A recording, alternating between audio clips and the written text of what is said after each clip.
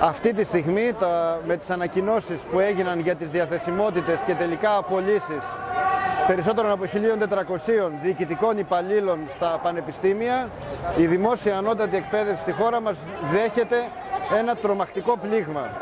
Στην πραγματικότητα είναι μια επιχείρηση διάλυσης, συρρήκνωσης της δημόσιας ανώτατης εκπαίδευσης και ανοίγματο του δρόμου για την ιδιωτικοποίησή της.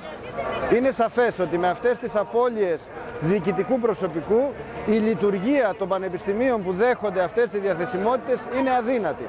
Είναι επίσης σαφές ότι το κύμα αυτό διαθεσιμοτήτων και απολύσεων, η επιχείρηση αυτή διάλυσης δεν πρόκειται να περιοριστεί ούτε μόνο στους διοικητικούς υπαλλήλους, άλλωστε ήδη οι υπεύθυνοι της κυβέρνησης έχουν διαμηνήσει ότι σκοπεύουν να προχωρήσουν και σε διαθεσιμότητες διδακτικού προσωπικού, καθηγητών πανεπιστημίου δηλαδή, αλλά δεν πρόκειται να περιοριστεί και σε αυτά τα πανεπιστήμια. Θα έχουμε αλλεπάλληλα κύματα τέτοιων κινήσεων.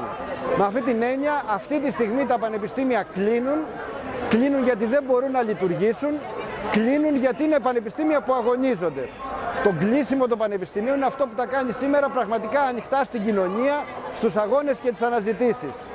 Δεν θα πρέπει όμως να περιοριστούμε μόνος στις κινήσεις που έχουν υπάρξει στα 8 αυτά πανεπιστήμια ή μόνος στις αποφάσεις που έχουν πάρει οι διοικητικοί υπάλληλοι ή μόνος στις αποφάσεις που έχουν πάρει σύγκλητοι.